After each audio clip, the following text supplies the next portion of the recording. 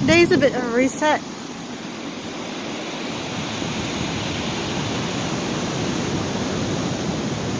There are periods of time when it seems that all my life is is dealing with the ongoing complications of my health challenges since I uh, came through Lyme.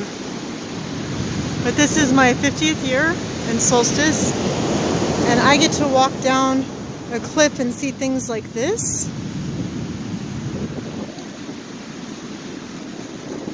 This.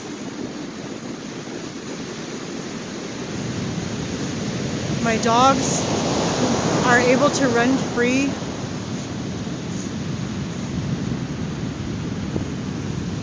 And I'm pretty blessed.